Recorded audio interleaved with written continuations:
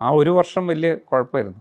കാരണം പപ്പ മരിച്ച മൂന്നാമത്തെ മാസമാണ് നമ്മൾ സുഡാൻ എന്ന് പറയുന്ന ഡൈ അഡൽട്രേറ്റ് ചെയ്തു എന്നൊക്കെ പറഞ്ഞിട്ട് വലിയ സോഷ്യൽ മീഡിയ എനിക്ക് തോന്നുന്നത് സോഷ്യൽ മീഡിയയുടെ ഏറ്റവും വലിയ അറ്റാക്ക് ഉണ്ടായ ഓർഗനൈസേഷൻ ഞങ്ങളായിരിക്കും കേരളത്തിൽ.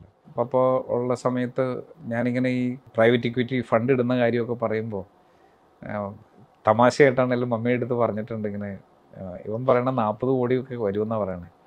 ആരെ ഈ മുളകുപൊടി കമ്പനിയിൽ നാൽപ്പത് കോടി ഇടാന്നൊക്കെ അന്ന് മമ്മിയുടെ അടുത്ത് തമാശയ്ക്കൊക്കെ പറയുന്നത് ഞാൻ കേട്ടിട്ടുണ്ട്. ഒരു മാർക്കറ്റിങ്ങിന് ഒരാൾ കൊണ്ടുവന്നു. അയാൾ എന്ത് ചെയ്യണമെന്ന് നമ്മൾ പറഞ്ഞു കൊടുക്കും. അയാളൊരു പ്ലാൻ ഇങ്ങോട്ട് തന്നിട്ട് പത്ത് പ്ലാൻ നമ്മുടെ മുമ്പിൽ കിട്ടാൻ അവസരമുള്ളപ്പോൾ നമ്മുടെ ഒരു പ്ലാൻ അങ്ങോട്ട് കൊടുക്കുന്നതിൽ എന്താണ് പ്രസക്തിയുള്ളത് അഞ്ച് അഞ്ച് മുതൽ എട്ട് വർഷത്തിന്റെ ഉള്ളിൽ I am pretty sure that will be able to create at least ആയിരം കോടി രൂപയ്ക്ക് മുകളിൽ വാല്യൂ ഉള്ള ഒന്നോ രണ്ടോ കമ്പനികൾ നമുക്ക് ഉണ്ടാക്കാൻ സാധിക്കും.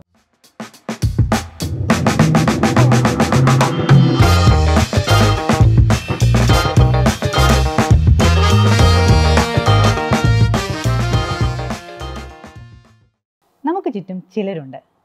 ഒരു പുതിയ പാത വെട്ടി സഞ്ചരിച്ച് പൊതുസമൂഹത്തിന് മുൻപിൽ പുതിയ മാതൃകകൾ സൃഷ്ടിക്കുന്നവർ. അത്തരം ചില അസാധാരണ വ്യക്തിത്വങ്ങളുടെ അനുഭവ കഥകൾ പങ്കുവയ്ക്കുകയാണ് ധനം ടൈറ്റൻ ഷോ. ഇന്ന് നമുക്കൊപ്പം ഉള്ളത് eastern condiments private limited chief executive officer Shri Navas മീരാനാണ്. സ്വാഗതം ശ്രീ നവാസ് മീരാൻ. എങ്ങനെയാണ് ഇതുപോലെയുള്ള രണ്ടായിരം കോടി മൂല്യമുള്ള ഒരു കമ്പനി എങ്ങനെയാണ് സൃഷ്ടിച്ചത്. അത് ആയിരത്തി തൊള്ളായിരത്തി അറുപത്തെട്ടുകളിൽ താങ്കളുടെ ഫാദർ അടിമാലി പോലുള്ള ഒരു ചെറിയ ഒരു ഗ്രാമപ്രദേശത്ത് നിന്നാണ് ഈ അന്താരാഷ്ട്ര നിലവാരത്തിലേക്ക് ഉയർന്ന ഒരു കമ്പനിയുടെ തുടക്കം. അപ്പോൾ എങ്ങനെയാണ് ഈ രണ്ടായിരം കോടി മൂല്യമുള്ള ഒരു കമ്പനിയിലേക്കുള്ള യാത്ര എങ്ങനെയായിരുന്നു? നമുക്ക് ഡിസ്ട്രിബ്യൂഷൻ ബിസിനസ് ഉണ്ടായിരുന്നു. അപ്പോൾ ഞങ്ങൾ ബ്രിട്ടാനിയ നെസ്ലെ മൈസൂർ ലാംസ് അതേപോലെ കേരളത്തിന്റെ കേരള ഗവൺമെന്റിന്റെ പ്രോഡക്റ്റായ കേരള വാഷൽ സോപ്പ് ഇതിന്റെ എല്ലാം ഡിസ്ട്രിബ്യൂഷൻ നമുക്കുണ്ടായിരുന്നു. അപ്പോൾ നമുക്കൊരു ഡിസ്ട്രിബ്യൂഷൻ എന്ന് പറയുന്ന ബിസിനസ്സിനെ കുറിച്ച് നമുക്ക് നല്ല ഗ്രാഹ്യമുണ്ടായിരുന്നു. അപ്പോഴാണ് നമ്മൾ നമ്മുടേതായ പ്രോഡക്റ്റുമായിട്ട് വന്നത്. അപ്പോൾ ഡിസ്ട്രിബ്യൂഷൻ ബിസിനസ്സിന്റെ പ്രത്യേകത നമ്മൾ മറ്റ് കമ്പനികൾക്ക് വേണ്ടി അവരുടെ പ്രോഡക്റ്റ് കടകളിലേക്ക് എത്തിക്കുന്ന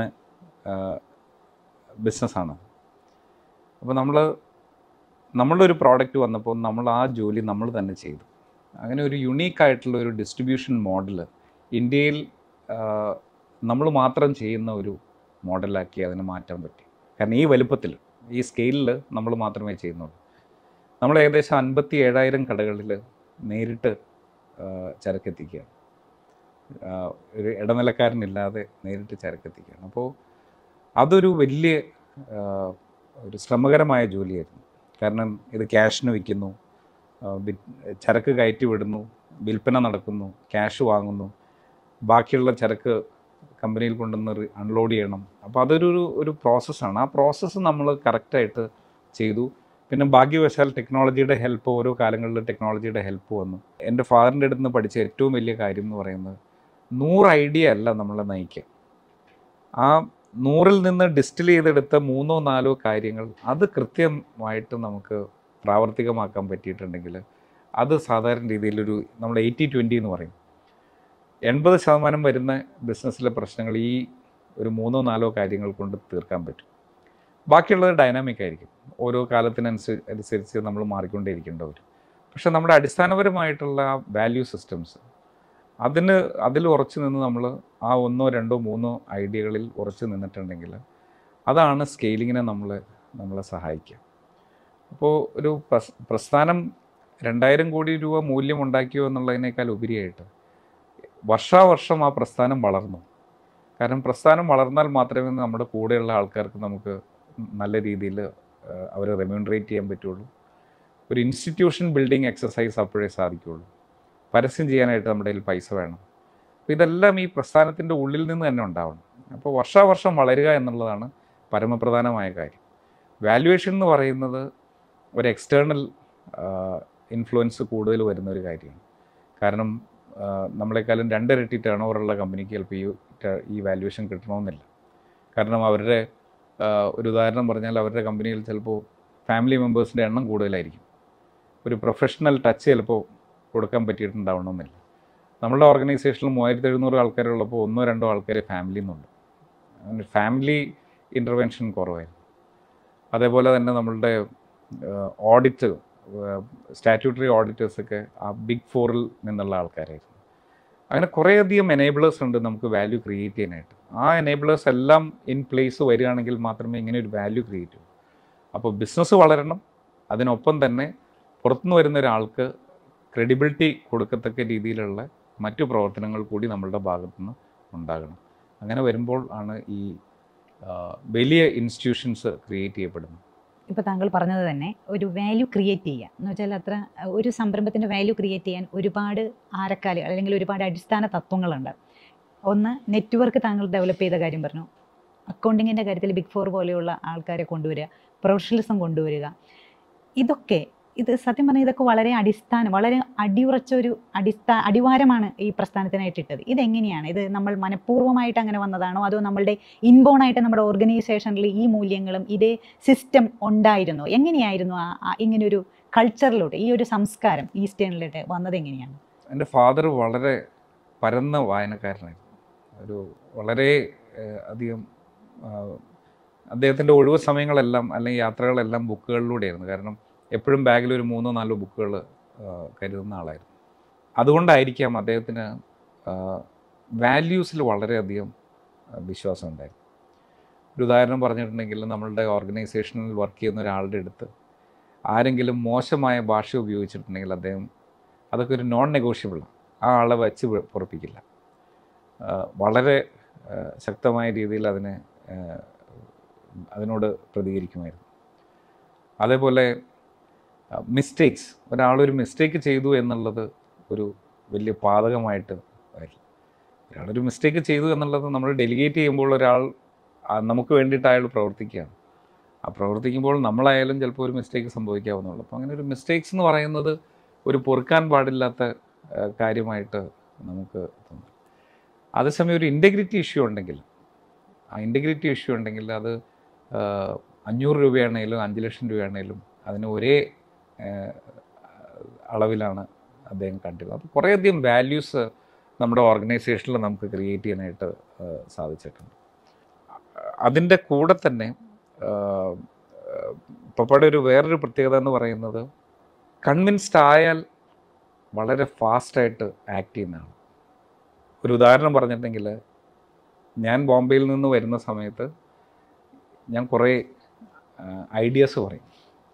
അപ്പോൾ ഈ പറയുന്ന ഐഡിയകളൊക്കെ മൂപ്പരിങ്ങനെ കേൾക്കുകയുള്ളൂ ഒന്നും പ്രതികരിക്കില്ല. അപ്പോൾ നമ്മളുടെ വിചാരം ഇത് ഇത് ഇഷ്ടപ്പെട്ടിട്ടില്ല എന്നുള്ളതാണ്. അപ്പോൾ നമുക്കെപ്പോഴും ഫ്രസ്ട്രേഷനാണ് പക്ഷേ ഏതെങ്കിലും ഒരു സാധനത്തിൽ ഒരു ഒരു പറഞ്ഞ കാര്യത്തിൽ അദ്ദേഹം കുറച്ചും കൂടി വർക്ക് ചെയ്യും കുറച്ച് സംശയങ്ങളൊക്കെ പിന്നീടൊക്കെ ചോദിക്കും.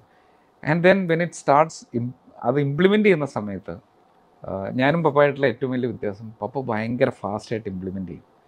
ഞാൻ ഈ ഐഡിയ ഒക്കെ പറയുമെങ്കിലും എന്റെ ഇംപ്ലിമെന്റേഷൻ ഭയങ്കര സ്ലോ ആയിരുന്നു. അപ്പോൾ അത് പിന്നെ ഒരു ഓർഗനൈസ് ഇൻസ്റ്റിറ്റ്യൂഷണലൈസ് ചെയ്ത് വന്നുകൊണ്ടാണ് കാര്യങ്ങൾക്ക് സ്പീഡ് കൂടാൻ തുടങ്ങിയത്.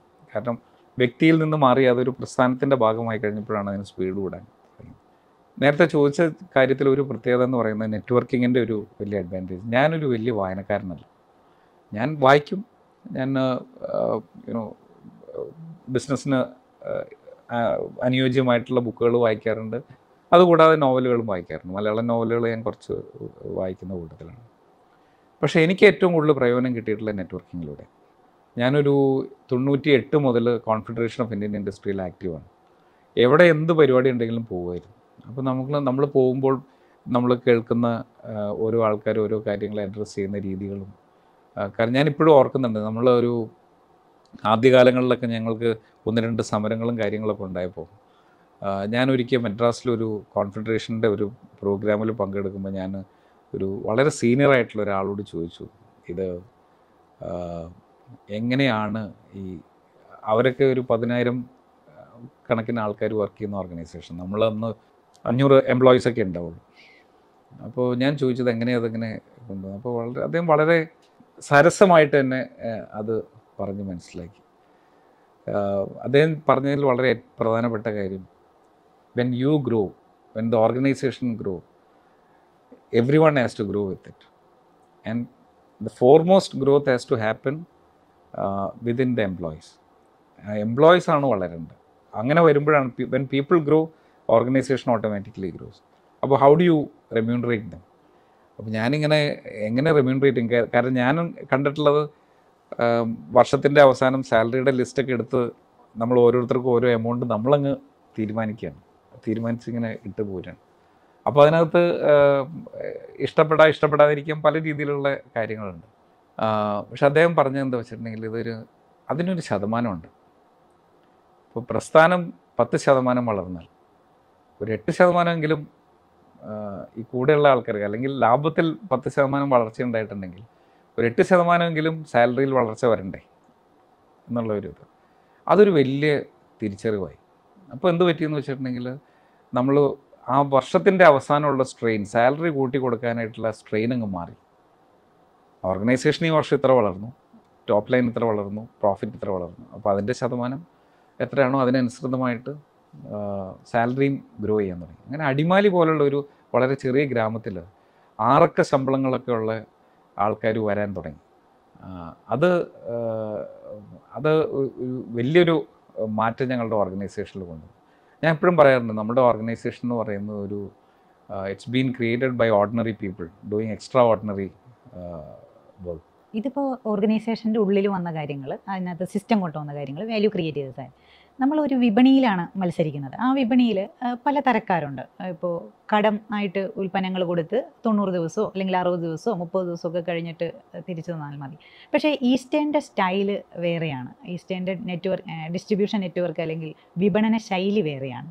അപ്പോൾ അങ്ങനെ ഒരു ശൈലി ഈ ക്യാഷിന് കാശ് കൊടുത്ത് സാധനം കൊടുക്കുക കാശ് വാങ്ങുക ഇതിന് പ്രശ്നങ്ങളുണ്ടായിരുന്നു. എന്തുകൊണ്ടാണ് നമ്മൾ അങ്ങനെ ഒരു തീരുമാനം എടുത്തത്? എപ്പോഴെങ്കിലും അത് മാറ്റണം എന്ന് തോന്നിയിരുന്നോ? അത് നമ്മൾ എത്രമാത്രം ഹെൽപ്പ് ചെയ്തിട്ടുണ്ട്. ഹെൽപ്പ് ചെയ്തിട്ടുണ്ട്. സി ഈ പല കാര്യങ്ങളും നമ്മളൊരു വേറെ നിർവാഹം ഇല്ലാത്തതുകൊണ്ടാണ് ചില കാര്യങ്ങൾ ചെയ്യുന്നത്. ഞങ്ങൾ റെഡിക്കേഷൻ അത് വിൽക്കാൻ തീരുമാനിക്കുന്ന ആയിരത്തി തൊള്ളായിരത്തി എൺപത്തി എട്ടിലാണ് അപ്പോൾ അന്ന് അതുവരെ ഞങ്ങൾക്കൊരു എട്ടോ അഞ്ചോ ആറോ വണ്ടികളെ ചിലപ്പോൾ ഉണ്ടായിട്ടുണ്ടാവാൻ സാധ്യതയുള്ളൂ ആ സമയത്ത്. അപ്പോൾ ഈ അഞ്ചോ ആറോ വണ്ടിയിലെ ആൾക്കാർ പോയി കടം കൊടുത്തു ആ കാശ് തിരിച്ചു വാങ്ങിച്ചു അതൊക്കെ നമുക്ക് നമ്മളുടെ ഉള്ളിൽ ഒതുങ്ങുന്ന കാര്യം. പക്ഷേ ഈ അഞ്ചോ ആറോ വണ്ടി അൻപത് വണ്ടിയോ അല്ലെങ്കിൽ നൂറ് വണ്ടിയോ ആകണമെങ്കിൽ ഈ പ്രോസസ്സ് പറ്റില്ല. അതൊരു കാര്യം. അതിനേക്കാളും പ്രധാനപ്പെട്ട കാര്യം എന്ന് പറയുന്നത് നമ്മളിത് കൊണ്ടുപോയി ഒരാഴ്ച കടം കൊടുക്കുമ്പോൾ പല സ്ഥലങ്ങളിൽ നിന്ന് ഒരാഴ്ചയ്ക്കുള്ളിൽ കാശ് കിട്ടണമെന്നില്ല. അത് ചിലപ്പോൾ പതിനഞ്ച് ദിവസമാകും ചിലപ്പോൾ മുപ്പത് ദിവസമാകും ചിലപ്പോൾ കിട്ടാതെ പോകാം. ചിലപ്പോൾ വാങ്ങിയ ആൾ ഇതിവിടെ ഏൽപ്പിക്കാതെ ഇരിക്കാവുന്ന സാഹചര്യം ഉണ്ടാവാം. അപ്പോൾ അതുകൊണ്ട് അത് നമ്മുടെ ക്യാഷ് ഫ്ലോനെ ബാധിക്കാൻ തുടങ്ങി. അങ്ങനെ വന്നപ്പോഴാണ് എം എൺപത്തെട്ടിൽ നമ്മൾ തീരുമാനിച്ചത്. ഇനി ഇനി മുതലുള്ള വിൽപ്പന. അന്ന് എനിക്ക് തോന്നുന്നു എന്റെ സംശയം ശരിയാണെങ്കിൽ ഏകദേശം എയ്റ്റ് തൗസൻഡ് ഷോപ്സിൽ നമ്മൾ കടം കൊടുത്തിരുന്നു. ഇനി മുതലുള്ള ഷോപ്പുകളിൽ നമ്മൾ ക്യാഷിന് വയ്ക്കാൻ തീരുമാനിച്ചു. അപ്പോൾ അത് ഞങ്ങളുടെ കംപ്ലീറ്റ് രീതികളിലൊരു വലിയ മാറ്റം തന്നെ ഉണ്ടാക്കി. ആ- ഒരു തീരുമാനം. കാരണം പോസിറ്റീവ് ക്യാഷ് ഫ്ലോ വരാൻ തുടങ്ങി. ക്യാഷിന് സാധനം വാങ്ങിക്കാൻ തുടങ്ങുമ്പോൾ നമ്മളുടെ വാങ്ങുന്ന സാധനത്തിന്റെ വില കുറയാൻ തുടങ്ങി. കൂടുതൽ ലാഭകരമായിട്ട് ബിസിനസ് ചെയ്യാൻ സാധിക്കുന്ന ഒരു രീതിയിലേക്ക് വന്നു. അതൊരു ഒരു വലിയ മാറ്റം അന്ന് കൊണ്ടുവന്നു. സാധാരണ ഒരു ഫാമിലി ബിസിനസ് ആണ് അതായത് നമ്മുടെ കേരളത്തിൽ ഒരു നൂറുകണക്കിന് ഫാമിലി ബിസിനസ്സുകളുണ്ട്. ഈ ഇതിന്റെ ഫസ്റ്റ് ജനറേഷൻ ആൾക്കാർ ആൾക്കാരെല്ലാം തന്നെ ഒരു വളരെ പാഷനേറ്റ് ആയിട്ട് അവരുടെ തന്നെ ഇന്റ്യൂഷൻസ് അവരുടെ തോന്നലുകൾ അവരുടെ അനുഭവങ്ങൾ എല്ലാം വെച്ചാണ് ഇത് കെട്ടിപ്പടുക്കുന്നത്. അത് അതിൽ തന്നെ അവർ ഒരുപാട് ജീവിക്കുകയായിരിക്കും. വിശ്വസിക്കുക മാത്രമല്ല എന്നിട്ട് ജീവിക്കുകയായിരിക്കും. അപ്പോൾ നമ്മളൊരു പുതിയ തലമുറ പുറത്തൊക്കെ പോയി പഠിച്ച് ഇങ്ങനെ പുതിയ തലമുറ ഇങ്ങോട്ട് വരുമ്പോൾ മകൻ ഒക്കെ കയറി വരുമ്പോൾ ഈ മകൻ പറയുന്ന ആശയങ്ങളോട് ഒരു പക്ഷേ ചിലപ്പോൾ എല്ലാം എടുത്തില്ല എന്നിരിക്കും പക്ഷെ നമ്മൾക്ക് തോന്നും ഇത് ചെയ്താൽ ഭയങ്കര ബ്യൂട്ടിഫുൾ ആവും കമ്പനി നന്നായിട്ട് വളരും എന്നൊക്കെ ഈ പുതുതലമുറയ്ക്ക് തോന്നും. പക്ഷേ പഴയ തലമുറ ചിലപ്പോൾ അതിനോട് പെട്ടെന്നൊന്നും പ്രതികരിക്കുകയോ അല്ലെങ്കിൽ അത് എടുക്കാതിരിക്കുകയോ ഒക്കെ ചെയ്യാന്നൊക്കെ അങ്ങനെയൊക്കെ ഈസ്റ്റേണിൽ ഉണ്ടായിട്ടുണ്ടോ? മനുഷ്യ സഹജമായ എല്ലാ കുഴപ്പങ്ങളും ഞങ്ങളുടെ ഭാഗത്തും ഉണ്ടായിട്ടുണ്ട്. അതായത് എന്റെ ഐഡിയനോട് പപ്പ യോജിക്കാതിരിക്കുകയും പപ്പയുടെ ഐഡിയനോട് ഞാൻ യോജിക്കാതിരിക്കുകയൊക്കെ ചെയ്യുന്ന ഒരു അതൊക്കെ ഇറ്റ്സ് ഹ്യൂമൻ കാരണം സക്സസ് എന്ന് പറയുന്നത് ഈ മനസ്സമാധാനം കൂടിയാണ്. അപ്പോൾ വലിയ മോശമില്ലാതെ ഒരു സാധനം പോയിക്കൊണ്ടിരിക്കുന്നു. ഇവൻ വലിയ ഐഡിയ ആയിട്ട് വന്നിട്ട് ഇന്ന് എന്റെ സമാധാനം കളയുമെന്നുള്ളതാണ് ആദ്യത്തെ ചിന്ത.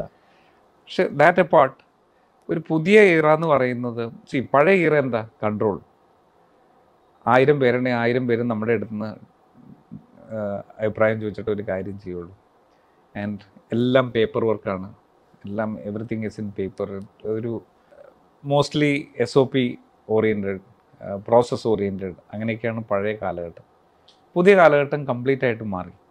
ഫ്രീ തിങ്കിങ് ഇതെല്ലാമാണ് പുതിയ ഈറ ഈ പുതിയ ഈറയിൽ നമുക്ക് ഒരു ഇതേപോലെ ഓപ്പണായിട്ട് സംസാരിക്കാനും ഫ്രീ തിങ്കിങ്ങും ഒക്കെ ഉള്ള ആൾക്കാർ ഉള്ളപ്പോൾ അവർക്ക് നേരെ നമ്മൾ കണ്ണടച്ച് നിന്നാൽ നമ്മൾ ഡയറക്റ്റീവ് ആവുകയാണ് you know what you need to do is you need to be in a position where നമ്മൾ ഇൻട്രസ്റ്റ് ചെയ്തിരിക്കുന്ന ആൾക്കാർ നമ്മളുടെ ഒബ്ജക്റ്റീവ്സ് അച്ചീവ് ചെയ്യുന്നുണ്ടെങ്കിൽ വി ഷുഡ് ബി ഹാപ്പി മനസ്സിലായില്ലേ? നമ്മളെന്തിനാ you know you have to you have to make things easy ലൈഫിനെ സിമ്പിളാക്കണം അപ്പോൾ സിമ്പിളാക്കാനായിട്ടുള്ള ഏറ്റവും എളുപ്പമുള്ള വഴി എന്താ?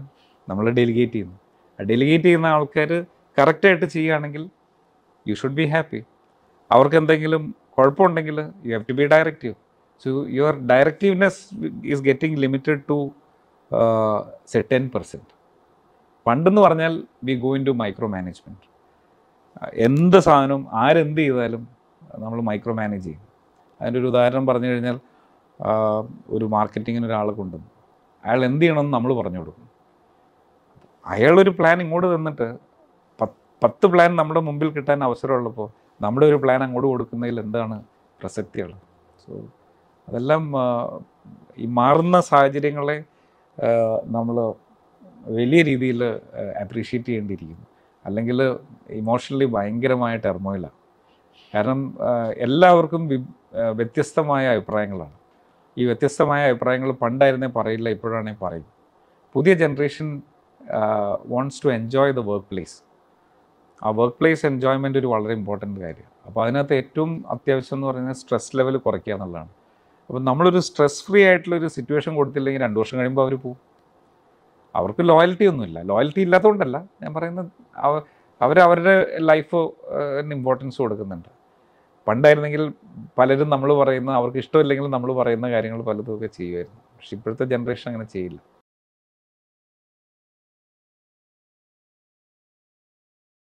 കേരളത്തിലെ നൂറുകണക്കിന് കുടുംബ ബിസിനസ്സുകളുണ്ട്. എല്ലാം തന്നെ വളരെ ബ്യൂട്ടിഫുൾ ആയിട്ട് കെട്ടിപ്പടുത്ത എന്ന് വെച്ചാൽ ഒരു ജനറേഷൻ ഒരുപാട് കഷ്ടപ്പെട്ട് തന്നെ കെട്ടിപ്പടുത്ത സംരംഭങ്ങളാണ് അവയ്ക്ക് തന്നെ. പക്ഷേ അവയെല്ലാം തന്നെ ഒരു പ്രത്യേക കട്ടെത്തിയിട്ട് ഒരു പക്ഷേ ഒരു ഇരുന്നൂറ് കോടി അല്ലെങ്കിൽ ഇരുന്നൂറ്റമ്പത് കോടി ആ ഒരു ഗ്രോത്തിലെത്തിയിട്ട് പിന്നെ അങ്ങോട്ട് അടുത്ത തലത്തിലോട്ട് എത്താണ്ട് ഒരു സ്തംഭിച്ച് നിൽക്കുന്ന ഒരു കാഴ്ചയുണ്ട്. പക്ഷേ ഈസ്റ്റേന്റെ കാര്യത്തിൽ അത് ഉണ്ടായിട്ടില്ല. ഇപ്പോൾ തന്നെ ഈ വിൽപ്പനയിൽ തന്നെ രണ്ടായിരം കോടി ഇൻസ്റ്റിറ്റ്യൂഷണൽ ആ ഒരു വാല്യൂ വന്നിട്ടുണ്ട്. എങ്ങനെയാണ് ആ ഒരു ഓരോരോ ഓർബിറ്റ് ഭേദിച്ച് ഭേദിച്ച് അടുത്ത ലെവലിലോട്ട് എങ്ങനെ പോകാൻ പറ്റി? അതിനെന്തായിരുന്നു ഘടകങ്ങൾ ഈ പ്രൊഫഷ പ്രൊഫഷണലിസം അല്ലെങ്കിൽ സിസ്റ്റം എന്തൊക്കെയായിരുന്നു? എന്തു എങ്ങനെയാണ് ഈ കുടുംബ ബിസിനസ്സിനെ പ്രൊഫഷണലൈസ് ചെയ്ത് എങ്ങനെയാണ്? സി ഗ്രോ സ്കെയിലിംഗ് എന്നുള്ള ഇപ്പോൾ ഉദ്ദേശിച്ചത് നൂറ് കോടിയിൽ നിൽക്കുന്ന കുറേയധികം കമ്പനികളുണ്ട്. അല്ലെങ്കിൽ നൂറ്റമ്പത് കോടിയിൽ നിൽക്കുന്ന കമ്പനികളുണ്ട്. അവരെങ്ങനെ ആയിരം ആവുന്നു അല്ലെങ്കിൽ എങ്ങനെ രണ്ടായിരം ആവുന്നു എന്നുള്ളതാണ്. സ്കെയിലിംഗ് ഒരു ആറ്റിറ്റ്യൂഡാണ് അതായത് അതിനെ വളർത്തണം എന്ന് നമ്മൾ വിചാരിച്ചാൽ ആ വളർത്താനായിട്ട് കുറേ എനേബിളേഴ്സ് ഉണ്ടാവും. ആ എനേബിളേഴ്സിനെല്ലാം നമുക്ക് ഒരേപോലെ ട്രീറ്റ് ചെയ്യേണ്ടി വരും. ഇപ്പോൾ ഒരു ഉദാഹരണം പറഞ്ഞിട്ടുണ്ടെങ്കിൽ നമ്മൾ സെയിൽസും മാർക്കറ്റിങ്ങുമായിട്ട് ഡിഫറൻഷ്യേറ്റ് ചെയ്യുന്ന എത്ര കമ്പനികളുണ്ട് കേരളത്തിൽ? എന്താണ് മാർക്കറ്റിംഗ് മാർക്കറ്റിംഗ് എന്ന് പറയുന്നത് നമ്മളുടെ പ്രസ്ഥാനത്തിന് എന്തെല്ലാം രീതിയിൽ കസ്റ്റമറെ എന്റൈസ് ചെയ്യാൻ പറ്റും കസ്റ്റമറുടെ അടുത്ത് എത്തിപ്പെടാൻ പറ്റും ലാഭകരമായിട്ട് എങ്ങനെ കസ്റ്റമറായിട്ട് ഇൻട്രാക്ട് ചെയ്യാൻ പറ്റും കസ്റ്റമറെ എങ്ങനെ ഹുക്ക് ചെയ്ത് നിർത്താൻ പറ്റും ഇതൊക്കെയാണ് മാർക്കറ്റിംഗ് ചെയ്യുന്നത്. സെയിൽസ് എന്ന് പറയുന്നത് വളരെ സിമ്പിളായി പറഞ്ഞാൽ മാർക്കറ്റിംഗ് ഉണ്ടാക്കിയെടുക്കുന്ന ഈ സാധനത്തിനെ എക്സിക്യൂട്ട് ചെയ്യുന്ന ഒരു ബോഡി മാത്രമാണ്. അപ്പം സെയിൽസും മാർക്കറ്റിങ്ങുമായിട്ട് വലിയ വ്യത്യാസമുണ്ട്. പക്ഷെ ഇത്രയും അധികം പ്രാധാന്യമുള്ള ഒരു മാർക്കറ്റിംഗ് എന്ന് പറയുന്ന ഒരു ഡിപ്പാർട്ട്മെന്റിൽ ഞാൻ കണ്ടിട്ടുള്ള പല കമ്പനികളുടെയും മാർക്കറ്റിംഗ് ഡിപ്പാർട്ട്മെന്റ് എന്ന് പറഞ്ഞാൽ പരസ്യം കൊടുക്കും. അല്ലെങ്കിൽ പരസ്യം കൊടുക്കാനായിട്ടുള്ള കമ്പനികളുമായിട്ട് സംസാരിക്കും. പത്ര ചാനലുകളുമായിട്ട് സംസാരിക്കും. അങ്ങനെ ഒരു ലിമിറ്റഡ് റോളാണ് അവർക്കുള്ളത്. പക്ഷേ അതൊരു കാര്യം. രണ്ടാമത് ഫിനാൻസ്. നമ്മൾ എന്ത് ചെയ്യുന്നു? അതിന്റെ ബ്ലാക്ക് ആൻഡ് വൈറ്റ് സിറ്റുവേഷൻ ആണല്ലോ അക്കൗണ്ടിങ് എന്ന് പറയുന്നത്. പക്ഷേ ഇത് അത് അക്കൗണ്ടിങ്ങിൽ നിൽക്കുന്നു. പക്ഷേ ഈ വന്ന കാര്യങ്ങൾ ഈ ഡേറ്റ ഉപയോഗിച്ചിട്ട് നമുക്ക് വേറെ എന്തെല്ലാം കാര്യങ്ങൾ ചെയ്യണം? ഏറ്റവും കൂടുതൽ വിറ്റുപോകുന്ന ചരക്കിന്റെ മാർജിൻ എട്ട് ശതമാനമുള്ളൂ എന്നാൽ കുറച്ച് വിൽക്കുന്ന സാധനത്തിന് ചിലപ്പോൾ ഇരുപതോ അല്ലെങ്കിൽ പതിനെട്ടോ ശതമാനം മാർജിൻ ഉണ്ട്. നമുക്കറിയാൻ പറ്റണം ഏത് കൂടുതൽ വിറ്റാലാണ് നമുക്ക് കൂടുതൽ ലാഭകരമായ ഇത് വരുള്ളൂ. അതേപോലെ തന്നെ ഒരു ഉദാഹരണം പറഞ്ഞാൽ ഫിക്സ് കോസ്റ്റ് പ്രോഫിറ്റ് എത്ര വളർന്നു? പ്രോഫിറ്റിന്റെ വളർച്ചയ്ക്ക് മുകളിലാണ് ഫിക്സ് കോസ്റ്റിന്റെ വളർച്ച. അങ്ങനെയാണെങ്കിൽ നാലോ അഞ്ചോ വർഷത്തിനുള്ളിൽ നമ്മൾ നഷ്ടത്തിലാവും.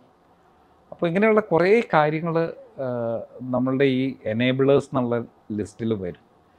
അപ്പോൾ അങ്ങനെയുള്ള പില്ലേഴ്സിനെ ഐഡന്റിഫൈ ചെയ്ത് ആ പില്ലേഴ്സിനെ സ്ട്രെങ്തൻ ചെയ്യുന്നതാണ് നമുക്ക് ഒരു സുശക്തമായ ഒരു ഒരു ഓർഗനൈസേഷൻ കെട്ടിപ്പടുക്കാനായിട്ട് നമുക്ക് സാധിക്കുള്ളൂ.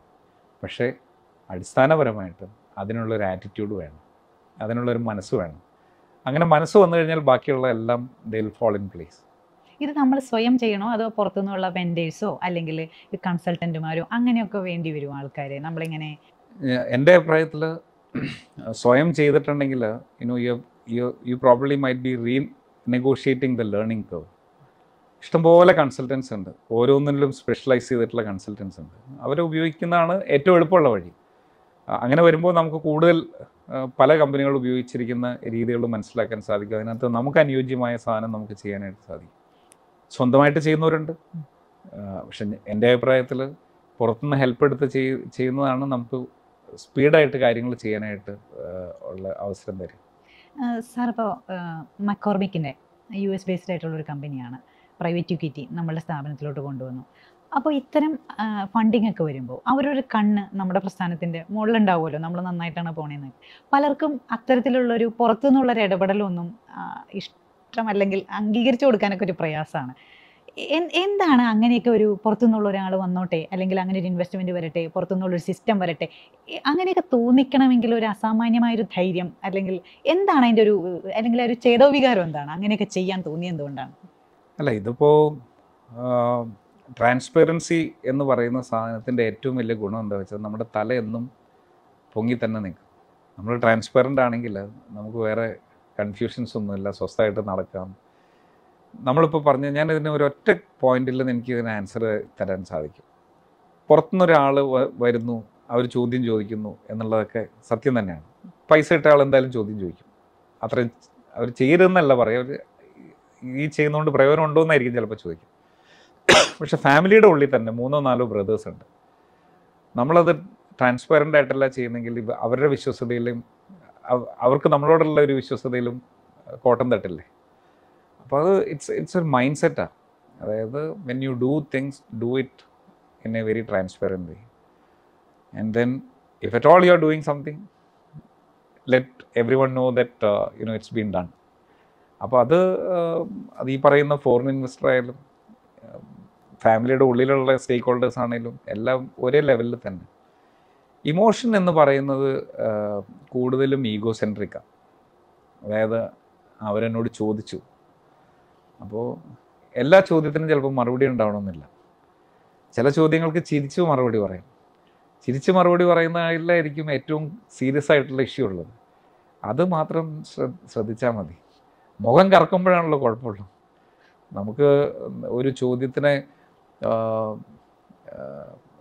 ഒരു പബ്ലിക് ഫോറത്തിൽ ചിലപ്പോൾ ചിലപ്പോൾ ഒരു ചോദ്യത്തിന് ചിലപ്പോൾ നമുക്ക് മറുപടി പറയാൻ പറ്റില്ല. പക്ഷേ ആ സമയത്ത് നമ്മൾ ചിരിച്ച് അതിനെ അഡ്രസ്സ് ചെയ്യുകയും പുറത്തിറങ്ങി കഴിയുമ്പോൾ കാര്യം പറയുകയും ചെയ്തിട്ടുണ്ടെങ്കിലും ആൾക്ക് കാര്യം മനസ്സിലാവുമല്ലോ. അപ്പോൾ എന്റെ ഒരു തോന്നലിൽ നമ്മളുടെ ഈഗോയാണ് അവ- അവരെന്നോടത് ചോദിച്ചു. എന്നോടത് ചോദിക്കാൻ കൊള്ളാമോ എന്നൊക്കെ നമ്മൾ ചിന്തിക്കുമ്പോൾ നമുക്ക് പ്രശ്നമുണ്ട്. എന്നെ സംബന്ധിച്ചിടത്തോളം ഞാൻ എല്ലാ ചോദ്യങ്ങൾക്കും റിസപ്റ്റീവ് ആയിട്ടുള്ള ആളാണ് ഇത്തരം ഒരു നിക്ഷേപം കൊണ്ടുവരുമ്പോഴേ പപ്പയ്ക്ക് പപ്പനെ പറഞ്ഞ് മനസ്സിലാക്കാനോ അല്ലെങ്കിൽ പപ്പയുടെ ആ ഒരു വിശ്വാസം നേടിയെടുക്കാനോ പ്രയാസം ഉണ്ടായിരുന്നു? അല്ല ഇതിങ്ങനെ ഫണ്ടിങ്ങിനെ കുറിച്ചൊക്കെ പപ്പക്കും അറിയാം. പപ്പ ഉള്ള സമയത്ത് ഞാനിങ്ങനെ ഈ പ്രൈവറ്റ് ഇക്വിറ്റി ഫണ്ട് ഇടുന്ന കാര്യമൊക്കെ പറയുമ്പോൾ തമാശയായിട്ടാണെങ്കിലും മമ്മിയുടെ അടുത്ത് പറഞ്ഞിട്ടുണ്ട് ഇങ്ങനെ ഇവൻ പറയണ നാൽപ്പത് കോടിയൊക്കെ വരുമെന്നാണ് പറയണേ. ആരെ ഈ മുളകുപൊടി കമ്പനിയിൽ നാൽപ്പത് കോടി ഇടാന്നൊക്കെ അന്ന് മമ്മിയുടെ അടുത്ത് തമാശക്കൊക്കെ പറയുന്നത് ഞാൻ കേട്ടിട്ടുണ്ട്. പക്ഷേ അത് വന്ന അന്ന് ഞാൻ അവിടെ അടിമാലി ഓഫീസിലുണ്ട്. അപ്പോൾ ഈ അക്കൗണ്ടന്റ് വന്നിട്ട് പറഞ്ഞു നമ്മുടെ അക്കൗണ്ടിൽ ഒരു നാൽപ്പത്തിരണ്ട് കോടി രൂപ വന്നിട്ടുണ്ടെന്ന് പറഞ്ഞു. അപ്പോൾ അന്ന് എനിക്ക് ആ ഫേസിൽ ഒരു ഇവൻ കൊള്ളാലോ ഇവൻ കുഴപ്പം മോശമില്ലല്ലോ എന്നുള്ള ഒരു ഫീൽ എനിക്ക് അന്ന് കിട്ടി. കാരണം money is the fuel for any growth and how you bring it you know it's it's a അതൊരു ആ, വലിയ കാര്യമാണ്. നമ്മൾ കടമായിട്ടാണ് കൊണ്ടുവരുന്നെങ്കിൽ നമുക്ക് നമ്മൾ ഇൻട്രസ്റ്റ് കൊടുക്കണം പലിശ കൊടുക്കണം. പലിശ കൊടുക്ക പലിശ സർവീസ് ചെയ്യാനായിട്ടുള്ള ബിസിനസ് നമുക്ക് ഉണ്ടോ? പിന്നെ എപ്പോഴും കടമായിട്ട് വരുന്ന ഒരു എമൗണ്ടിനെ കുറിച്ച് എപ്പോഴും ഒരു ആവലാതി നമ്മുടെ മൈൻഡ് സെറ്റിൽ ജനറലി ഉണ്ട്. ഇതൊരു ഇക്വിറ്റി ആയിട്ടാണ് വന്നത്. Even though equity is the most costliest way of bringing in money he was receptive for that and luckily he was also receptive for bringing in McCormick മെക്കോർമിക്കിന്റെ ട്രാൻസാക്ഷനിൽ ഞങ്ങൾ അവരുമായിട്ട് ബാൽട്ടിമോറിൽ മേരിലാൻഡിൽ മീറ്റ് ചെയ്യാൻ പോകുമ്പോൾ പപ്പ എന്റെ കൂടെ ഉണ്ട്. അപ്പോൾ അതുകൊണ്ട് ആഹ്, ഒരു ഓർക്കുലർ ട്രാൻസാക്ഷൻ വന്നപ്പോൾ എനിക്കൊരു ആഹ്, മനസ്സിനൊരു എന്റെ ഒരു രാത്രി പോലും ഉറക്കം പോയില്ല. സാറിന്റെ പപ്പ മരിക്കുമ്പോഴേ എനിക്ക് തോന്നുന്നു നമ്മൾ വിചാരിച്ചതിനേക്കാളും കുറച്ചും കൂടി നേരത്തെ സാറിന്റെ ചുമലിലേക്ക് കമ്പനിയുടെ ആ ഒരു ഭാരം അല്ലെങ്കിൽ കമ്പനി അങ്ങയുടെ തലയിലേക്ക് വരിക. എന്ന് വെച്ചാൽ പപ്പയുടെ മരണം പെട്ടെന്ന് സാറിന് എം ഡി കൂടെ ഉണ്ടായിരുന്നു എങ്കിൽ പോലും. ആ ആ ഒരു കാലഘട്ടം എങ്ങനെയായിരുന്നു? പപ്പ മരിച്ചു. കുടുംബമുണ്ട്. നല്ലൊരു ഓർഗനൈസേഷനാണ് പെട്ടെന്ന് സാറിലേക്ക് ഇതെല്ലാം വന്നപ്പോൾ സാറിന് എന്താ എങ്ങനെയായിരുന്നു ആ കാലഘട്ടം? ആ ഒരു വർഷം വലിയ കുഴപ്പമായിരുന്നു. കാരണം പപ്പ മരിച്ച മൂന്നാമത്തെ മാസമാണ് നമ്മൾ സുഡാൻ എന്ന് പറയുന്ന ഡൈ അഡൽട്രീറ്റ് ചെയ്തു എന്നൊക്കെ പറഞ്ഞിട്ട് വലിയ സോഷ്യൽ മീഡിയ എനിക്ക് തോന്നുന്നത് സോഷ്യൽ മീഡിയയുടെ ഏറ്റവും വലിയ അറ്റാക്ക് ഉണ്ടായ ഓർഗനൈസേഷൻ ഞങ്ങളായിരിക്കും കേരളത്തിൽ. അപ്പോൾ അതൊരു പപ്പ മരിച്ചിട്ട് മൂന്നാമത്തെ മാസമാണ്. ശരിക്കും പറഞ്ഞാൽ ഞാനൊരു മൂന്ന് ദിവസം മൂന്ന് ദിവസം കണ്ടിന്യൂസ് ആയിട്ട് ഉറങ്ങാൻ പറ്റിയില്ല. അത് കാരണം നമ്മളും ഇതിനെ ആദ്യമായിട്ടാണ് കാരണം നമ്മൾ ഇത്രയധികം ആൾക്കാർ വർക്ക് ചെയ്യുന്ന സ്ഥലത്ത് നമുക്ക് സുഡാൻ കളർ വാങ്ങിച്ചുകൊണ്ട് ചേർക്കാനൊന്നും പറ്റില്ലല്ലോ. പക്ഷെ അത് ജനങ്ങളിലേക്ക് എങ്ങനെ ഇത് പറഞ്ഞെത്തിക്കും എന്നുള്ള ഒരു ഒരു വലിയ തലവേദന നമ്മളുടെ നമ്മളെ ചേസ് ചെയ്തുകൊണ്ടേയിരുന്നു. പക്ഷെ വേറൊരു കാര്യമുള്ള എന്താ വെച്ചാൽ അത് ഈ നമ്മളുടെ ഓഫറിങ്ങിൽ സത്യസന്ധത കാണിക്കുക എന്നുള്ളതാണ് നമുക്ക് ചെയ്യാൻ പറ്റുന്നത്. നമ്മളൊരു ഒരു ഒരു പ്രോഡക്റ്റ് നമ്മൾ മാർക്കറ്റിൽ നിന്ന് നമുക്ക് മനുഷ്യൻ മനുഷ്യ സഹജമായിട്ട് കൊടുക്കാൻ പറ്റുന്ന എല്ലാ കാര്യങ്ങളും നമ്മൾ കൊടുക്കണം. പപ്പയുടെ മരണശേഷം ഉണ്ടായ ഏറ്റവും വലിയ ഒരു ഒരു ഒരവസ്ഥ എന്ന് പറയുന്നത് എല്ലാവരും നമ്മളെ ഉറ്റുനോക്കുന്ന ഒരു സാഹചര്യം ഉണ്ടായിരുന്നു. അപ്പോൾ ഞാൻ ഒരു കാര്യം ശ്രദ്ധിച്ചത് ഒന്നിലും മാറ്റം വരുത്തിയില്ല എന്നുള്ളത് പപ്പ എന്ത് ചെയ്തിരുന്നു? ആ ചെയ്തതെല്ലാം അതേപോലെ ഫോളോ ചെയ്തു എന്നുള്ളതാണ്. ഒരു ഒരു വർഷത്തിന് ശേഷം എന്റെ അടുത്ത് അഭിപ്രായം ചോദിച്ചു വരുന്ന ആൾക്കാരുടെ അടുത്ത് എന്നേക്കാളും ഓർഗനൈസേഷനിൽ എക്സ്പീരിയൻസ് ഉള്ള ആൾക്കാരുടെ അടുത്ത് ഞാൻ എന്റെ അടുത്ത് എന്ത് ചെയ്യണമെന്ന് ചോദിച്ച് വന്നപ്പോൾ ഞാൻ പറഞ്ഞു തുടങ്ങി നിങ്ങൾക്കാണല്ലോ ഇവിടെ എക്സ്പീരിയൻസ് കൂടുതൽ. നിങ്ങൾക്ക് എന്താ ശരിയെന്ന് തോന്നുന്നത്? എന്ന് അവരോട് ചോദിക്കാൻ തുടങ്ങി. അപ്പോൾ ഈ പറയുന്ന ആൾക്കാർക്ക് ഒരു എംപവർമെന്റ് നമുക്ക് കൊടുക്കാനായിട്ട് സാധിച്ചു. അപ്പോൾ അവർ ഓർഗനൈസേഷൻ എന്താണോ ശരി അത് തീരുമാനം എടുക്കാൻ തുടങ്ങി. അപ്പോൾ അത് അതൊരു വലിയ മാറ്റമായിരുന്നു. രണ്ടാമത് ഫിറോസ് എന്റെ ബ്രദറിനെ എനിക്ക് ബിസിനസ്സിലേക്ക് ആക്റ്റീവായിട്ട് കൊണ്ടുവരാനായിട്ട് സാധിച്ചു. ഞാൻ എനിക്ക് തോന്നുന്നു ഒരു വർഷം മാത്രമാണ് മാനേജിങ് ഡയറക്ടറായിട്ട് ഇരുന്നിട്ടുള്ളൂ. അത് അതിന് ശേഷം ഫിറോസാണ് അത് കൈകാര്യം അപ്പോൾ ഫിറോസും ബിസിനസ്സിലേക്ക് വന്നു. ട്രാൻസാക്ഷൻ എപ്പോഴും പെയിൻഫുൾ ആണ്. പക്ഷേ അതിനെ എത്രത്തോളം സ്മൂത്താക്കാൻ പറ്റും എന്നുള്ളത് വലിയ മാറ്റങ്ങൾ ആദ്യം തന്നെ കൊണ്ടുവരാതിരിക്കുക എന്നുള്ളതാണ്. മാറ്റങ്ങൾ കാലോചിതമായിട്ട് ഒരു സ്മൂത്തായിട്ട് നമുക്ക് ചെയ്യാൻ സാധിച്ചിട്ടുണ്ടെങ്കിൽ വലിയ വലിയ പ്രശ്നങ്ങളിൽ നിന്നൊക്കെ നമുക്ക് ഒഴിവാകാനായിട്ട് സാധിക്കും.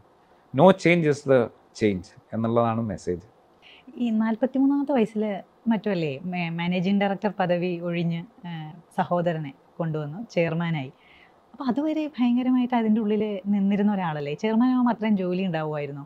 അപ്പോൾ ഒരു ശൂന്യതയൊക്കെ തോന്നിയോ? അല്ലെങ്കിൽ എന്തിനാ ഇത്ര ചെറുപ്പത്തിൽ അങ്ങനെ മാറിക്കളഞ്ഞേ? അല്ല അതൊരു ചോദ്യമാണ് അപ്പോൾ പിന്നെ നമ്മൾ നമ്മളൊന്ന് റീ പൊസിഷൻ ചെയ്യും നമ്മൾ ഈ ഗൂഗിളിൽ റീസെറ്റ് ചെയ്യാന്ന് പറയില്ലേ? എന്ന് പറഞ്ഞ പോലെ നമ്മളൊന്ന് റീസെറ്റ് ചെയ്യും. അപ്പോൾ നമ്മൾ കുറച്ചും കൂടി സി ബേസിക്കലി ഒരു ഓർഗനൈസേഷൻ റൺ ചെയ്യുന്നതിൽ ഫാമിലിയുടെ തലപ്പത്തു നിന്ന് സ്ട്രാറ്റജിക് ഇന്റർവെൻഷനേ പാടുള്ളൂ. അങ്ങനെ ഒരു സ്ട്രാറ്റജിക് ഇന്റർവെൻഷനാണ് വരുന്നതെങ്കിൽ ആ സ്ട്രാറ്റജൈസ് ചെയ്ത് ഇത് കൊടുത്തു കഴിഞ്ഞാൽ ബാക്കിയുള്ളവർ അത് ഇംപ്ലിമെന്റ് ചെയ്യണം. ഇംപ്ലിമെന്റേഷൻ പ്രോപ്പറായിട്ട് പോകുന്നുണ്ടോ എന്ന് നോക്കാനായിട്ട് റിവ്യൂ മീറ്റിങ്സും വേണം. അതിൽ കൂടുതലും മൈക്രോ മാനേജ് ചെയ്ത് നമ്മൾ മൊണോട്ടണസ് ആയിട്ടുള്ള ഒരു സിറ്റുവേഷനിൽ പോയാൽ നമുക്ക് ഈ ഓർഗനൈസേഷന്റെ ഓർഗനൈസേഷനെ ഏതെങ്കിലും സമയത്ത് വഴി തിരിച്ച് വിടേണ്ട വന്നാൽ നമ്മൾ നമ്മളത് കാണാതെ പോകും. വേറെയുള്ള ആൾക്കാരത് ചെയ്ത് ഫ്രണ്ടിൽ കയറി അവർ ദൂരം പോയി കഴിയുമ്പോഴാണ് നമ്മൾ അറിയുള്ളൂ ഇങ്ങനെ ഒരു കുഴപ്പം സംഭവിച്ചു എന്നുള്ളത്. അപ്പോൾ അത് നമ്മളുടെ കണ്ണുകളും കാതുകളും ഒക്കെ സശ്രദ്ധം വീക്ഷിച്ചുകൊണ്ടിരുന്നാൽ മാത്രം ആണ് നമുക്കത് മനസ്സിലാവുള്ളൂ. പലപ്പോഴും എന്താ സംഭവിക്കുന്നതെന്ന് വെച്ചിട്ടുണ്ടെങ്കിൽ ഫാമിലി ഇത് ഓടിക്കുന്ന ആൾക്കാർ ഡേ ഇൻ ഡേ ഔട്ട് അതിനകത്തുണ്ട്. അവർ എല്ലാ കാര്യങ്ങളിലും കയറി ഇടപെടും. അപ്പോൾ അങ്ങനെ ഇടപെടുന്ന ഒരാളെ സംബന്ധിച്ചിടത്തോളം ചിന്തിക്കാനായിട്ടുള്ള സമയം കിട്ടില്ല. നെറ്റ്വർക്ക് ചെയ്യാൻ സമയം കിട്ടില്ല. വായിക്കാൻ സമയം കിട്ടില്ല. അതല്ലെങ്കിൽ ഒരു ഇൻഡസ്ട്രി എക്സ്പേർട്ടിനെ കൊണ്ടുവരാനായിട്ടുള്ള സമയം കിട്ടില്ല. അവരുമായിട്ടൊന്നും ചർച്ച ചെയ്യാനായിട്ടൊന്നും സമയം കിട്ടില്ല. അവർക്ക് ഡേ ടു ഡേ ഇഷ്യൂസിൽ അവർ കിടന്നിങ്ങനെ ഇത് അതുകൊണ്ടാണ് പലപ്പോഴും ആൾക്കാർക്ക് നെക്സ്റ്റ് ലെവൽ ഗ്രോത്തിലേക്ക് മാറിപ്പോവാനായിട്ട് പലപ്പോഴും സാധിക്കാതെ വരുന്നത്. ഇതൊക്കെ സ്വയം തോന്നിയ തോന്നലാണോ? അല്ലെങ്കിൽ വേറെ ആരെങ്കിലും പറഞ്ഞതാണോ? അല്ലെങ്കിൽ വേറെ എവിടെയെങ്കിലും കണ്ടതാണോ? പലയിടത്തും കണ്ട സാധനം. ഞാൻ I'm a person who shamelessly copy what is good happening other in other places. ഒരു മടിയില്ലാതെ ഞാൻ കോപ്പി ചെയ്യും. വേറെ ഒന്നുമല്ല നമുക്കിപ്പോൾ നമുക്കാകെ ഒരു ഷോർട്ട് സ്പാൻ ഓഫ് ലൈഫ് ഉണ്ട്. നമ്മളുടെ ഇന്റൻഷൻ എന്താണ്? ഓർഗനൈസേഷനെ നന്നാക്കണം. അപ്പോൾ അതിൽ നല്ലതെന്ന് തോന്നുന്ന കാര്യങ്ങൾ നമ്മൾ ഇംപ്ലിമെന്റ് ചെയ്യും. സാറിന്റെ ബിസിനസ് ജീവിതത്തിൽ പറ്റിയ ഏറ്റവും വലിയ അല്ലെങ്കിൽ തെറ്റ് അല്ലെങ്കിൽ ആ ഒരു തീരുമാനം എടുക്കണ്ടായിരുന്നു എന്ന് തോന്നിയ എന്തെങ്കിലും ഉണ്ടോ? മീൻസ് ദൂരം തീരുമാനങ്ങൾ. എത്ര എത്ര ഡൈവേഴ്സിഫിക്കേഷൻ ഒരു കാര്യമില്ലാത്ത ഡൈവേഴ്സിഫിക്കേഷൻ നമ്മളെ പ്രലോഭിപ്പിക്കാനായിട്ട് ഇങ്ങനെ നിറയെ ആൾക്കാരുണ്ടാവും. അവർ വന്ന് ഇങ്ങനെ ഐഡിയാസ് പറഞ്ഞു തരും. നമ്മൾ ഐഡിയയുടെ പുറകെ പൈസ ഇടും. See I what I'm saying is നമ്മൾ ചെയ്യുന്ന കാര്യത്തിൽ there is money in it അതിനെ ആ പൈസേനെയാണ് നമ്മൾ പ്രൊട്ടക്റ്റ് ചെയ്യേണ്ടത്. ഇപ്പോൾ ഡിവിഡന്റ് ആയിട്ട് വരുന്ന എമൗണ്ടിനെ നമുക്ക് ഏറ്റവും നല്ല രീതിയിൽ എങ്ങനെ വളർത്താൻ പറ്റും? അത് നമ്മൾ തന്നെ വേറൊരു ബിസിനസ്സിൽ കൊണ്ടുപോയിട്ടാൽ നമ്മളുടെ ഇവിടുത്തെ ഫോക്കസ് മാറും. നമ്മൾ ഇതും അതും എല്ലാം കൂടി നോക്കിയിട്ടുണ്ടെങ്കിൽ നമ്മുടെ നമ്മുടെ നമ്മൾ ആ whatever money has come in as dividend we are not showing ഒരു നീതി പുലർത്തുന്നില്ല എന്നാണ് എനിക്ക് തോന്നിയിട്ടുള്ളത്. അതാണ് ഞാൻ ചെയ്തിട്ടുള്ള ഏറ്റവും വലിയ മിസ്റ്റേക്കുകളിൽ ഒന്ന് അത് പക്ഷേ ഞാനിതിപ്പോൾ ഒരു ബിസിനസ് എന്ന് പറഞ്ഞതുണ്ട്. പലപ്പോഴും എന്താ സംഭവിക്കുക എന്ന് പറഞ്ഞാൽ ഒരു ആൾ വന്നിട്ട് പറയും ഇങ്ങനെ ഒരു സ്ഥലമുണ്ട്. പണ്ട് പത്ത് ലക്ഷം രൂപ വില ഉണ്ടായിരുന്നു ഇപ്പം അഞ്ച് ലക്ഷം രൂപയ്ക്ക് കിട്ടും. അപ്പം നമ്മൾ പോയി അത് വാങ്ങും. അങ്ങനെ നമ്മുടെ ലിക്വിഡിറ്റീനെ അത് കുഴപ്പത്തിൽ ചാടിക്കുക അതൊക്കെ ഒരു എല്ലാ ഫാമിലികളിലും സംഭവിക്കുന്ന ഒരു തെറ്റാണ് എനിക്കും അത് പറ്റിയിട്ടുണ്ട്. പക്ഷേ ഈസ്റ്റേൺ ഗ്രൂപ്പിന് കീഴിൽ ഇപ്പോൾ സുനിദ്ര മാട്രസസ് ഉണ്ട് അതേപോലെ നമ്മൾ കുപ്പിവെള്ളം തുടങ്ങി പല ബിസിനസ്സുകളിലുണ്ട് ടീയിലുണ്ടായിരുന്നു അപ്പോൾ സാർ എങ്ങനെയാണ് ആ വെർട്ടിക്കൽസിനെയൊക്കെ എങ്ങനെ ശക്തിപ്പെടുത്തി അല്ലെങ്കിൽ ആ വെർട്ടിക്കൽസിനെയൊക്കെ വളർത്തിയെടുത്തി? അതിനോടൊന്നും എനിക്ക് നീതി പുലർത്താൻ പറ്റിയിട്ടില്ല അത് എല്ലാം പല കമ്പനികളും നൂറ് കോടി ഒക്കെ ആയിട്ട് ഇങ്ങനെ. പക്ഷേ ഈ അടുത്ത കാലത്ത് നമ്മുടെ ഈ ട്രാൻസാക്ഷന് ശേഷം നമ്മളെന്താ ചെയ്തതെന്ന് വെച്ചിട്ടുണ്ടെങ്കിൽ നമ്മൾ അതിനെല്ലാം പ്രൊഫഷണൽ സി എക്സോസിനെ കൊണ്ടുവന്നു അത് ഓടിക്കാൻ പ്രാപ്തരായിട്ടുള്ള ആൾക്കാരെ കൊണ്ടുവന്നു. ആ ഇൻഡസ്ട്രിയൽ എക്സ്പീരിയൻസ് ഉള്ള ആൾക്കാരെ കൊണ്ടുവന്നു. അവർ വന്ന് അവർ ഓടിക്കാൻ തുടങ്ങി. ഇപ്പോൾ അത് എനിക്ക് തോന്നുന്നു ഒരു നാലോ അഞ്ചോ വർഷത്തിനുള്ള അതിനകത്ത് വലിയ മാറ്റങ്ങൾ വരും. അത് വലിയ രീതിയിൽ വളരുമെന്നാണ് എന്റെ വിശ്വാസം. പപ്പ ഉണ്ടാക്കിയ പപ്പ ഒരുപാട് വേർപ്പൊഴിക്കിയ ഒരു പ്രസ്ഥാനമാണ്. ദേ മകൻ കൊണ്ടുപോയി വിറ്റു. അങ്ങനെ ഒരു ആരോപണമൊക്കെ അല്ലെങ്കിൽ അങ്ങനെയൊക്കെ ഒരു വാദമൊക്കെ കേൾക്കാലോ? അതിനെ പേടിച്ചിരുന്ന അല്ലെങ്കിൽ കേൾക്കേണ്ടി വരുമെന്ന് തോന്നിയിരുന്നോ? കേട്ടിട്ടുണ്ട്. കാരണം പപ്പ ഉണ്ടാക്കിയത് കളഞ്ഞു എന്നുള്ളതിനേക്കാൾ ഉപരി എനിക്ക് കഴിവ് കുറവാണെന്നുള്ള എനിക്കിത് ഇത് മുമ്പോട്ട് കൊണ്ടുപോകാനായിട്ടുള്ള കഴിവില്ല എന്ന് പറഞ്ഞ പലരും ഉണ്ടാവാം. ഉണ്ട്. ഞാനിങ്ങനെ കാണുന്നുള്ളൂ. ഞാൻ പപ്പ മരിക്കുമ്പോൾ ഏകദേശം മുന്നൂറ് കോടി ടേൺ ഓവർ ഉണ്ടായിരുന്ന ഒരു കമ്പനി നമുക്കൊരു തൊള്ളായിരം കോടി രൂപ ടേൺ ഓവർ വരെ എത്തിക്കാനായിട്ട് സാധിച്ചു. നമ്മൾ നിന്ന് പാർഷ്യലി എക്സിറ്റ് ചെയ്തു. അപ്പോൾ പാർഷ്യലി എക്സിറ്റ് ചെയ്തു എന്ന് പറയുന്നതും ഈ ഇപ്പോൾ നമ്മൾ ഐ പി ഒ ചെയ്യുന്നതിനെ കുറിച്ച് സൂചിപ്പിച്ചല്ലോ. നമ്മളപ്പോൾ ഓണർഷിപ്പ് ഡൈല്യൂഷനാണ് അതിനകത്ത് വരുന്നത്. അപ്പോൾ ഇത് എക്സിറ്റ് ചെയ്ത് നമ്മൾ ഫുൾ ആൻഡ് ഫുൾ പുറത്തേക്ക് പോവുകയാണെങ്കിൽ ഈ പറയുന്ന കുറച്ചും കൂടിയൊക്കെ ഒരു വിഷമം ഉണ്ടാവും ഇതിപ്പോൾ നമ്മൾ അതിനകത്ത് ഉണ്ട് ഉണ്ട് എന്നുള്ളത് കൊണ്ട് നമുക്ക് അതിനകത്ത് അങ്ങനെ ഒരു നമ്മളതിന്റെ ബോർഡിലുണ്ട് ഡയറക്റ്റ് ബോർഡിലുണ്ട്. അപ്പോൾ അതൊക്കെ ഉള്ളതുകൊണ്ട് നമുക്കങ്ങനെ എനിക്കങ്ങനെ ഒരു ഫീലിംഗ് വന്നിട്ടില്ല. താങ്കളുടെ ഇപ്പോഴത്തെ ഒരു ലക്ഷ്യം എന്താണ്? എന്താണ് ഒരു ഉള്ളിലുള്ള കാര്യം? ഇപ്പോൾ ഉള്ള ലക്ഷ്യം എന്ന് പറയുന്നത് ഒരു വളരെ ഗ്രൂപ്പ് മീരാൻ ഇനിഷ്യേറ്റീവ്സിനെ നമുക്ക് what we have done in Eastern Condiments I'm pretty sure that will be able to do it in many of these companies in group Meeran അപ്പോൾ വാല്യൂ ക്രിയേഷൻ എന്ന് പറയുന്ന പ്രോസസ്സ് വീണ്ടും തുടർന്നുകൊണ്ടേയിരിക്കും. വാല്യൂ അൺലോക്കിങ് ഇനിയും നടക്കും.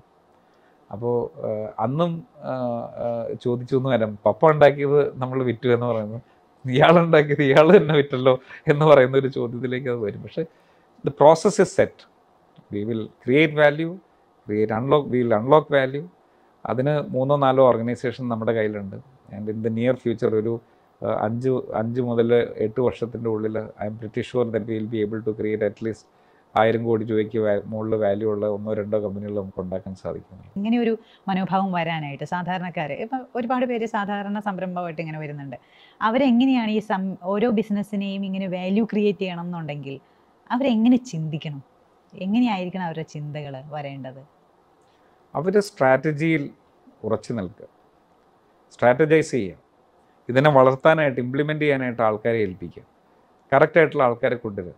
അവർക്കത് implement ചെയ്യാനായിട്ടുള്ള freedom കൊടുക്കുക. തെറ്റ് എന്ന് പറയുന്നതിനെ അല്ലെങ്കിൽ ഒരു മിസ്റ്റേക്ക് എന്ന് പറയുന്ന എപ്പോഴും പാടണബിളാണ് നമ്മൾ ഒരാൾ ഒരു മിസ്റ്റേക്ക് ചെയ്തു എന്ന് വിചാരിച്ചിട്ട് നമ്മൾ അയാളെ ചേസ് ചെയ്യാതിരിക്കുക. അവർക്ക് ചിന്തിക്കാനും പ്രവർത്തിക്കാനുമായിട്ടുള്ള ഒരു ഉണ്ടാക്കി കൊടുക്കുക. നമ്മളെ സംബന്ധിച്ചിടത്തോളം നമ്മൾ അവർ ചെയ്യുന്ന പ്രവൃത്തിയെ അപ്രിഷ്യേറ്റ് ചെയ്യും. അത് അല്ലെങ്കിൽ അതിനകത്ത് എന്തെങ്കിലും മാറ്റങ്ങളുണ്ടെങ്കിൽ നമുക്കത് ഡയറക്റ്റ് ചെയ്യാനായിട്ട് പറ്റുകയൊക്കെ ചെയ്യുക എന്നുള്ളതാണ് ഒരാൾ ചെയ്യേണ്ട കാര്യം. അങ്ങനെ വന്നിട്ടുണ്ടെങ്കിൽ ഓട്ടോമാറ്റിക്കായിട്ട് ഇങ്ങനെയുള്ള വിവിധങ്ങളായ ഓർഗനൈസേഷനുകൾ വലുതായി വരും. ഈ ഓർഗനൈസേഷൻസിന്റെയൊക്കെ ഹെഡായിട്ടൊക്കെ ഇരിക്കുമ്പോൾ ബിസിനസ്സിന്റെ ഹെഡായിരുന്നല്ലോ അപ്പോൾ ഇതെങ്ങനെയാണ് ഈ ബാലൻസ്? ഈ എങ്ങനെയാണ് സ്ട്രൈക്ക് ആ ബാലൻസ് സ്ട്രൈക്ക് ചെയ്ത് എങ്ങനെയാണ്? എന്ന് വെച്ചാൽ രണ്ടിലും ഉത്തരവാദിത്തങ്ങളുണ്ടല്ലോ. അതായത് നമ്മളൊരു ഓർഗനൈസേഷന് ഇന്നവിറ്റബിൾ ആവരുത്. അതായത് ഞാനില്ലെങ്കിലും പ്രസ്ഥാനം ഓടും എന്നുണ്ടെങ്കിൽ മാത്രമേ ആ പ്രസ്ഥാനം കറക്റ്റ് ആവുള്ളൂ. ഞാനൊരു ഒരു മാസം ഇല്ലെങ്കിലും പ്രസ്ഥാനം ഓടണം. അപ്പോൾ അത് അതിന് പറ്റിയ രീതിയിലുള്ള തീരുമാനങ്ങൾ എടുക്കാനും അതിന് പറ്റിയ രീതിയിലുള്ള പ്രോസസ്സുകളും എല്ലാം ഇൻ പ്ലേസ് ആണെങ്കിൽ ജനറലി അത് അത് എല്ലാവർക്കും കഴിവുണ്ട്. കഴിവില്ലാത്ത ആൾക്കാരില്ല. അത് അവരത് വളരെ ജുഡീഷ്യസ് ആയിട്ട് ഉപയോഗിക്കും. നമ്മളുണ്ടെങ്കിൽ നമ്മൾ പറയുന്ന പോലെ ചെയ്യും. നമ്മളില്ലെങ്കിലും ഓർഗനൈസേഷനെ പ്രൊട്ടക്ട് ചെയ്യാനായിട്ടുള്ള മനസ്സും ആത്മാർത്ഥതയൊക്കെയുള്ള ആൾക്കാരാണെല്ലാം. അവരത് ചെയ്തിരിക്കും. ബിസിനസ്സിനപ്പുറം ഈസ്റ്റേൺ അല്ലെങ്കിൽ ഗ്രൂപ്പ് മീരാൻ വേറെ എന്തെങ്കിലും ചെയ്യുന്നുണ്ടോ? സ്പോർട്സ് അങ്ങനെയുള്ള കാര്യങ്ങൾ എന്തെങ്കിലും ഡെവലപ്പ് ചെയ്യാം ഞങ്ങളൊരു സ്പോർട്സ് കമ്പനി ഫോം ചെയ്തിട്ടുണ്ട്. അതിന്റെ പേര് സ്കോർ ലൈൻ സ്പോർട്സ് എന്നാണ്. അതിന് കേരള ഫുട്ബോൾ അസോസിയേഷന്റെ റൈറ്റ്സ് നമുക്കുണ്ട്. നമ്മളിപ്പോൾ ഒരു ഐ എസ് എൽ പോലെ ഒരു കേരള സൂപ്പർ ലീഗ് എന്ന് പറഞ്ഞ ഒരു ലീഗ് കേരളത്തിൽ സ്റ്റാർട്ട് ചെയ്യുക എട്ട് ടീമുകളുടെ ലീഗ് സ്റ്റാർട്ട് ചെയ്യാണ്. അതൊരു അതൊരു സോഷ്യൽ ഓണ്ടർപ്രണർഷിപ്പാണ് അതുകൊണ്ട് നമ്മൾ ഉദ്ദേശിക്കുന്നത് എന്താ വെച്ചിട്ടുണ്ടെങ്കിൽ കുറേയധികം കളിക്കാർക്ക് വലിയ രീതിയിലുള്ള ഒരു ഫിനാൻഷ്യൽ അഡ്വാന്റേജ് വരും. കാരണം ഇപ്പോൾ ഈ വർഷം മോഹൻ ബഗാൻ ഒരു കളിക്കാരനെ എടുത്തത് നാല് കോടി രൂപയ്ക്കാണ് അപ്പോൾ അത് മുൻപ് ക്രിക്കറ്റിൽ മാത്രം കേട്ടിരുന്ന ഒരു കാര്യമാണ്. അതിപ്പോൾ നമുക്ക് പതുക്കെ ഫുട്ബോളിലേക്കും ഇന്നിപ്പോൾ നാല് കോടിയാണെങ്കിൽ അതൊരു നാൽപ്പത് കോടിയായി മാറും എന്നുള്ള കാര്യത്തിൽ സംശയമില്ല. ഇന്ത്യയിൽ ആദ്യമായിട്ട് ഒരു ട്രാൻസ്ഫർ ഫീ മൂന്ന് കോടി രൂപ വന്നു.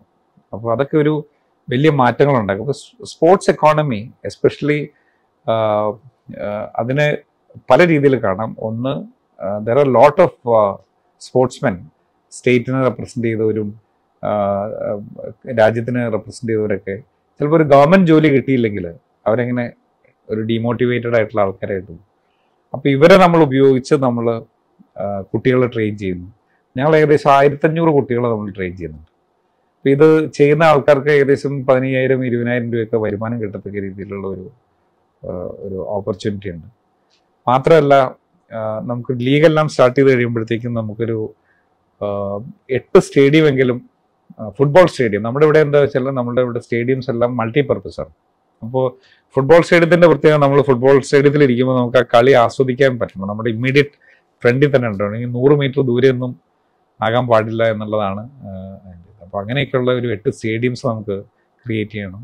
എന്തുകൊണ്ടായി ഫുട്ബോൾ എന്തുകൊണ്ട് ഈ ഫുട്ബോളിനെ തിരഞ്ഞെടുത്തു?